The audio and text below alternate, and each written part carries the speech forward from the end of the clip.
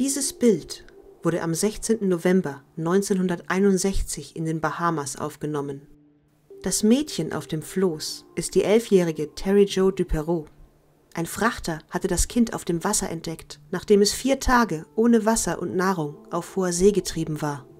Nur wenige Minuten nachdem dieses Bild aufgenommen wurde, brach das Mädchen vor Erschöpfung zusammen. Als der Kapitän des havarierten Schiffes erfuhr, dass die kleine Terry gerettet worden war, beendete er sein Leben. 13. November 1961, 12.35 Uhr Ortszeit. Ein Matrose an Bord des Öltankers Gulf Lion entdeckt im Wasser einen Mann auf einem kleinen Beiboot, der ihm wie wild zuwinkt. Als die Besatzung den Mann an Bord zieht, entdecken sie im Rettungsboot die Leiche eines rothaarigen kleinen Mädchens.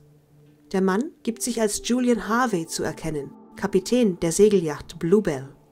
Er berichtet, dass die Bluebell am Abend zuvor gegen 8.30 Uhr von einer heftigen Böe getroffen worden war. Der Mast sei gebrochen und die Bluebell gekentert. Harvey hätte noch versucht, den anderen Passagieren zur Flucht zu verhelfen, doch ein Feuer sei an Bord des sinkenden Schiffes ausgebrochen und hätte ihm den Weg versperrt. Captain Harvey war es nicht gelungen, irgendjemanden zu retten. Nicht einmal seine eigene Frau, Mary Dean. Lediglich die siebenjährige Tochter seiner Passagiere, René Duperreau, war in den Fluten an ihm vorbeigetrieben. Er hiefte das leblose kleine Mädchen an Bord des Rettungsbootes, doch alle Wiederbelebungsversuche scheiterten. Drei Tage lang sucht die Küstenwache das Gebiet nahe der Abaco-Inseln nach Überlebenden ab, in dem die Bluebell nach Julian Harveys Aussagen gesunken sein soll. Vergeblich. 17. November 1961.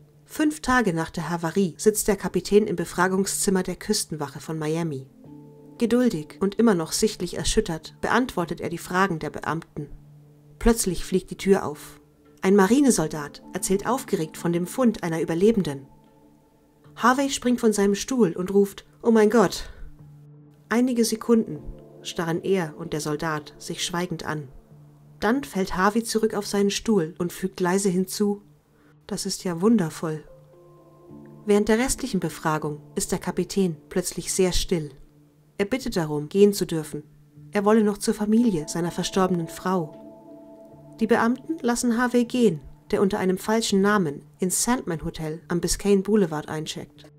Auf seinem Zimmer schneidet er sich die Pulsadern auf. Die kleine Terry Joe liegt zu diesem Zeitpunkt im Krankenhaus im Koma und die Polizei wartet gespannt darauf, dass sie aufwacht. 20. November 1961. Terry Joe Duperreau ist wieder ansprechbar und sie hat eine Menge zu erzählen. Solange sie denken konnte, hatte ihr Vater Arthur von einer Segeltour von Florida bis zu den Bahamas geträumt. Der selbstständige Optiker hatte im Zweiten Weltkrieg als Marinesoldat auf dem Atlantik gedient und wünschte sich nichts sehnlicher, als dieses wundervolle Fleckchen Erde in Frieden mit seiner Familie genießen zu können. Mehrere Jahre hatte er gespart dafür. Am Mittwoch, den 8. November 1961, war es endlich soweit. Anstatt den kalten Winter in Wisconsin zu verbringen, ging die Familie Duperreau an Bord der Bluebell, einer 18 Meter langen Segelyacht, die 1928 vom Stapel gelaufen war. Vater Arthur Duperreau, seine Frau Jean, die Kinder Brian, René und Terry Joe heuerten den Kapitän Julian Harvey an, einen entfernten Bekannten von Arthur. Harveys sechste Ehefrau, Mary Dean, ging als Köchin mit an Bord. 100 Dollar am Tag sollte Arthur dem Ehepaar bezahlen Trotz jahrelanger Entbehrungen konnten sich die Duperreaus nicht mehr als eine Woche auf dem Atlantik leisten.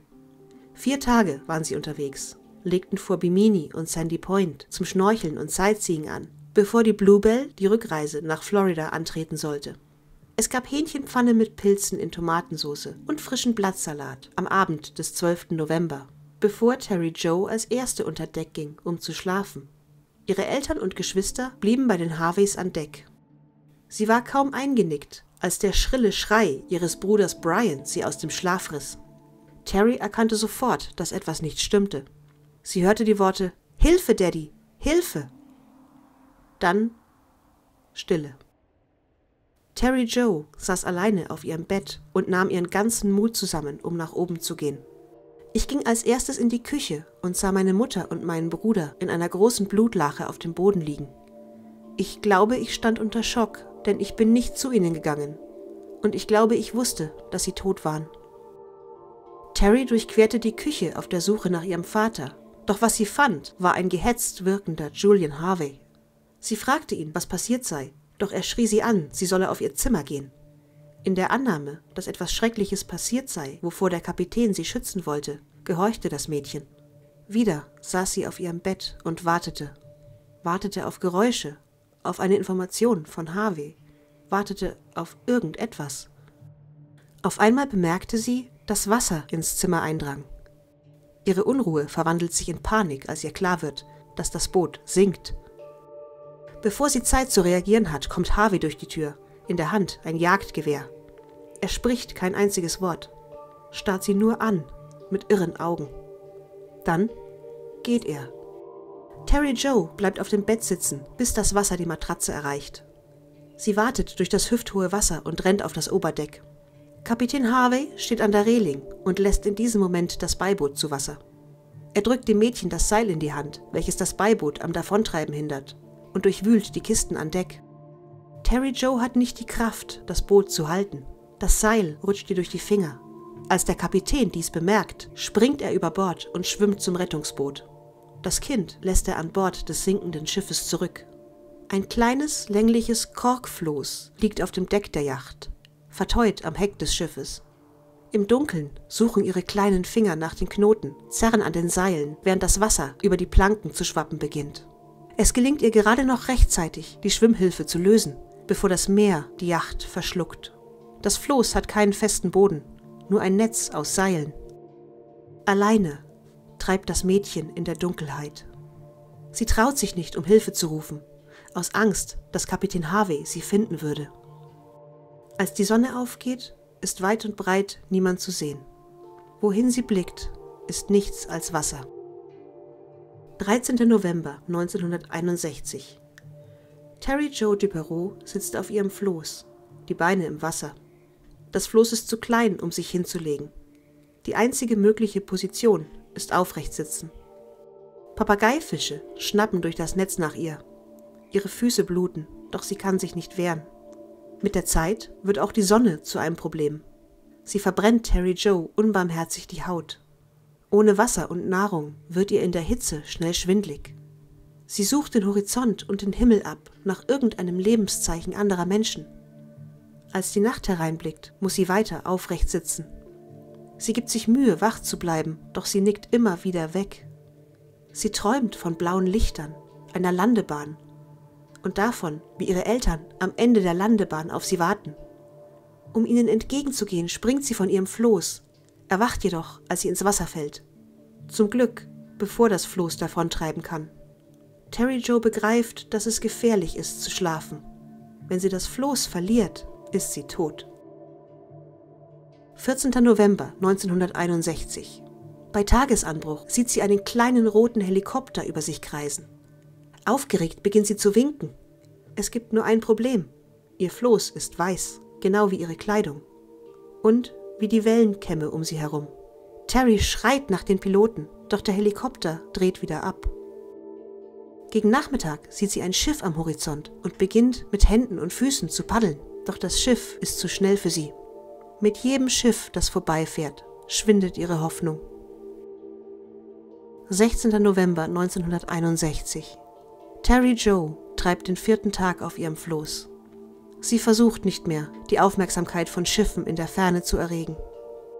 Sie sitzt einfach nur da und kämpft gegen den Schlaf.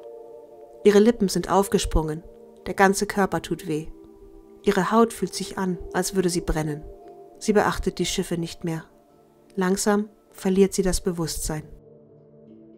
Nikolaos Spagidakis, zweiter Steuermann an Bord des griechischen Frachters Kapitän Theo, stand an der Reling und genoss den Anblick der tanzenden Wellen.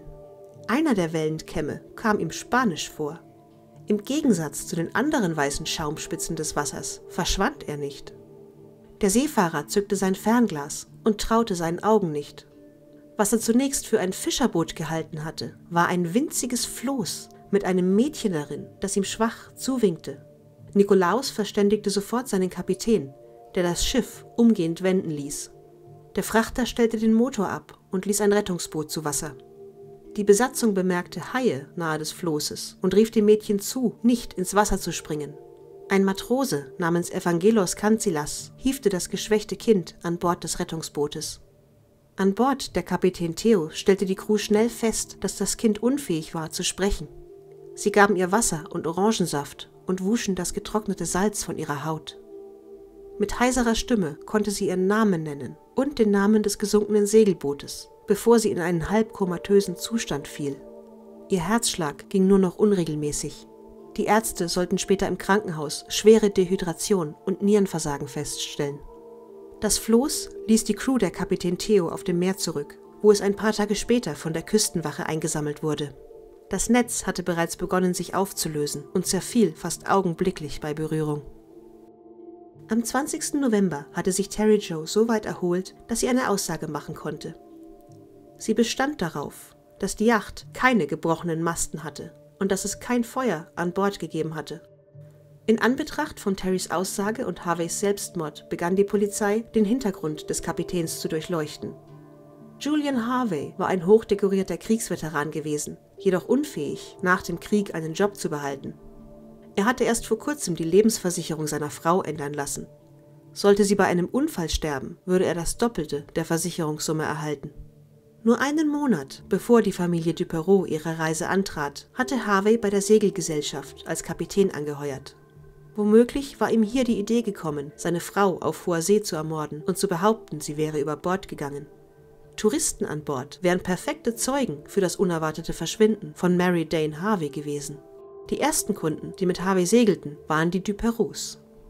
Es wäre nicht die erste stolze Versicherungssumme gewesen, die im Todesfall seiner Ehefrau ausbezahlt worden wäre. Seine zweite Frau war 1946 von einer Brücke abgekommen und mit ihrem Plymouth in einen Sumpf gestürzt. Julian Harvey konnte sich aus dem sinkenden Fahrzeug befreien, während seine Ehefrau und deren Mutter im Auto ertranken. Zwei kleinere Segelboote in Harveys Obhut waren ebenfalls aus unerklärlichen Gründen gesunken, wofür er von den jeweiligen Versicherungen größere Entschädigungen erhielt. Man nimmt an, dass Arthur Duperreau ihn entweder beim Mord oder beim Überbordwerfen der Leiche ertappte Vielleicht hatte es eine Art Dominoeffekt gegeben, als Jean Duperreau und die Kinder den Mord an Arthur mitbekamen. Man vermutet, Harvey hätte die Leiche der kleinen Renée aus dem Wasser gefischt, um seiner Geschichte Glaubwürdigkeit zu verleihen. Das Mädchen war laut Autopsie tatsächlich ertrunken. Hätte Julian Harvey seinem Leben nicht selbst ein Ende gesetzt, wäre er wegen Mordes an allen Toten und versuchten Mordes an Terry Joe angeklagt worden. Terry Jo Duperreau wuchs bei der Schwester ihres Vaters auf. Die weiße Kleidung, die sie auf dem Floß getragen hatte, besitzt sie noch heute. Lange Zeit wollte sie nicht wahrhaben, dass ihre Familie tot sein sollte. Es gab schließlich keine Leichen. Als Teenager riss sie oft von zu Hause aus, um an verschiedenen Strandabschnitten des Atlantiks nach ihrem Vater zu suchen. Bis sie 35 war, ging sie wieder und wieder auf die Suche. In den 1960ern galt die Maxime einfach nicht mehr daran denken als die beste Bewältigungsmethode, weshalb niemand dem jungen Mädchen die Gelegenheit gab, über das Erlebte zu reden. Auch öffentlich sprach sie über 20 Jahre lang weder über das Ereignis noch ihre Familie. Sie heiratete, bekam drei Kinder und arbeitete ihr Leben lang nahe des Atlantischen Ozeans. Ihre Liebe zum Meer, so schrieb sie später, war trotz allem ungebrochen. Für sie war es die letzte Verbindung zu ihrer Familie. 2010 veröffentlichte sie ihre Memoiren mit dem Titel Allein, verwaist auf dem Ozean. Terry Joe ist nun in Rente und lebt in Kewaunee, Wisconsin. Es gibt viele Spekulationen, warum Julian Harvey Terry nicht tötete. Manche behaupten, dass er unterschwellig erwischt werden wollte. Andere vermuten, dass er sie töten wollte, zum Schluss jedoch keine Zeit mehr dazu hatte. Nachdem dem Mädchen das Seil des Rettungsbootes aus den Fingern geglitten war, blieb ihm nur noch die Wahl, hinterherzuspringen, bevor es davondriftete. Terry selber vermutet, dass er einfach dachte, sie würde mit dem Schiff untergehen.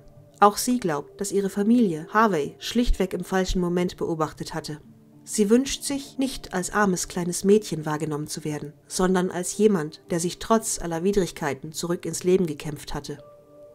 Ich glaubte immer, dass ich aus einem Grund gerettet wurde, schrieb Terry Jo Duperreau in ihrem Buch. Wenn meine Geschichte auch nur einem einzigen Menschen geholfen hat, dann war es diese Reise wert. Bis zum nächsten Mal bei Kuriosum Mensch